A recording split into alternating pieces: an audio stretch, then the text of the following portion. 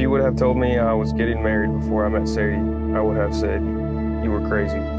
Aaron, since the day I met you, I knew we would be in each other's lives, and I'm so excited that soon I'll have your last name. Seeing how you love Stetson has made my love for you grow stronger each and every day. Watching you love Stetson so fiercely and wanting the absolute best life for both of us, I can't help but feel so grateful that I found God's best.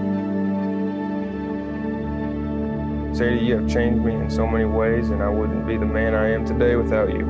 When I have a bad day, just seeing your smile makes the world stand still.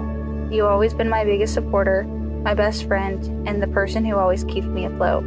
You make bad days not feel so bad, and making me laugh when that's the last thing I want to do. I love you to the moon and back, and I'm so excited to grow old with you. I love you, Sadie Anna, and I can't wait for our future together.